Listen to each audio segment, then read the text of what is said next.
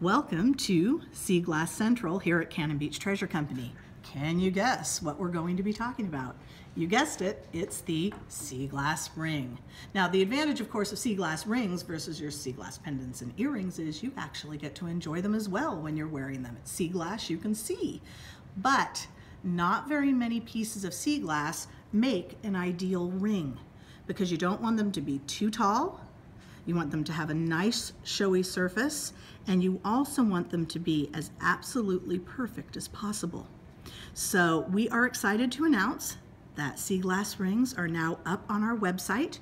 We have them in sizes 7, 8, 9, and 10, and we're also going to be premiering sizes from 5 to 11 here in the next couple of months with new band designs and all kinds of fun things. But if you've got to get yourself a sea glass ring, go ahead, find your color, your size. They are wonderful.